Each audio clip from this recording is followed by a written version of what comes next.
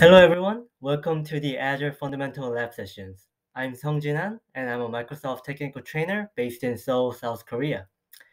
In this exercise, we will learn how to use total cost of ownership calculator to compare the cost of running a sample workload in your on-premises environment versus on Azure. To get started, let's first head over to the following link, aka.ms slash az900 slash sandbox. It will direct you to this collection of lab exercises, which have been extracted from the collection of learning paths at aka.ms slash azfunpath.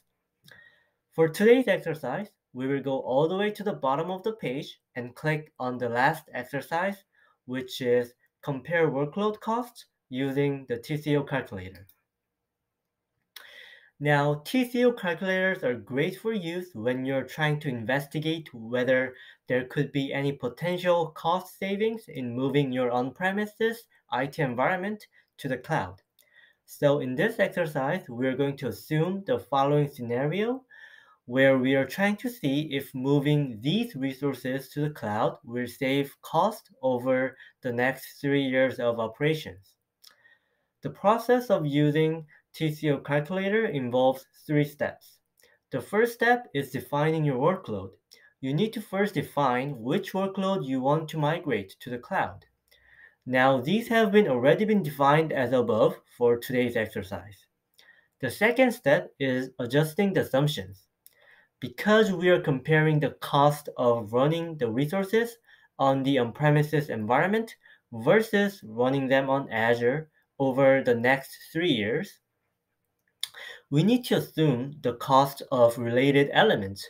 For example, in order to calculate the total cost of running an on-premises data center, we need to consider the cost of building a data center, the electricity cost to power the hardware, IT labor costs to maintain and manage the hardware, and so on.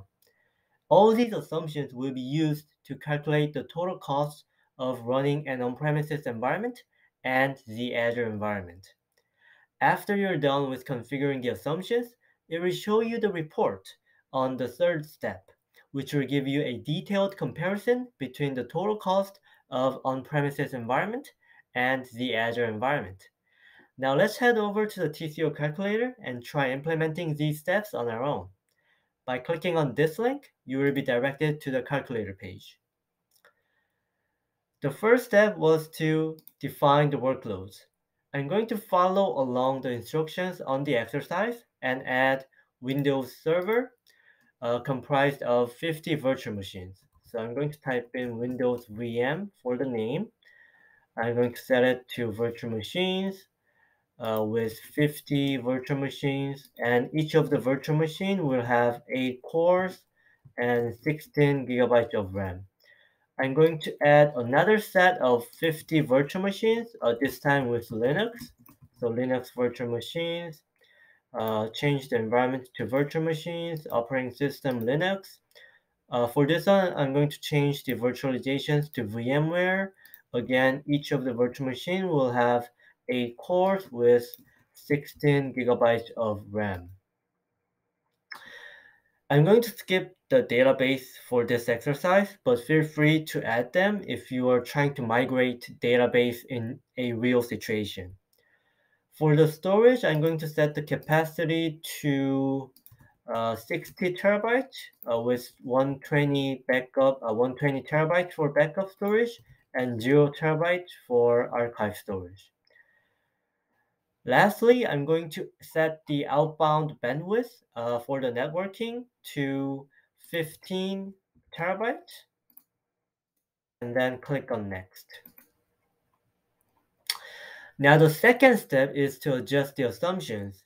In here, you can adjust various settings which can either reduce or increase the total cost of your on-premises environment or your Azure environment. For example, you can choose to use the geo-redundant storage option for your Azure environment. You can adjust the uh, price per kilowatt hour, which will be added on to your total cost of on-premises data center. You can also adjust the IT labor costs, hardware costs, software costs, and so on for your on-premises data center. Now by default, all the costs have been estimated using the industry average. So for today's exercise, we are just going to use the default value.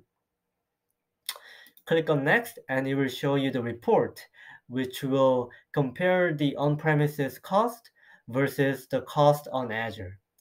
Now you can change the time frame you want to look. For this exercise, let's choose three years. And you can also change the region because Azure costs can differ depending on the location. Uh, for this one, let's change it to uh, North Europe.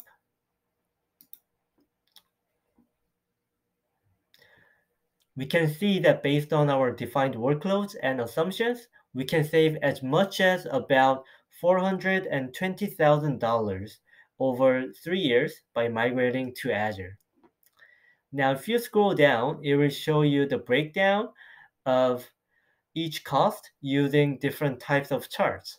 In here, they're using pie chart to show how much of compute, data center, networking, storage, and IT labor costs take up. As you can see, customers do not have to pay for building and maintaining data centers when using Azure. So there's no cost related to the data centers. If you scroll down, you can see even more detailed breakdown summary by each category in actual numbers.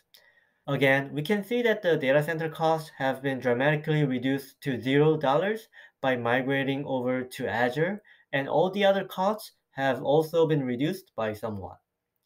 And you can also open up these drop-down boxes to see how they have calculated these numbers based on the workloads and assumptions we have defined from the previous steps. You can either download this report or log in with Microsoft account to either share or save this report. And if you have any questions regarding the calculation, you can always reach out to the Azure sales team by clicking on this contact me button. And now that brings us to the end of this video. In this video, we talked about how to use TCO calculators to calculate the potential cost savings of migrating to Azure compared to the on-premises environment. Hope you enjoyed it and make sure to check out other Azure Fundamental Lab exercises as well on aka.ms slash az900 slash sandbox. Thank you.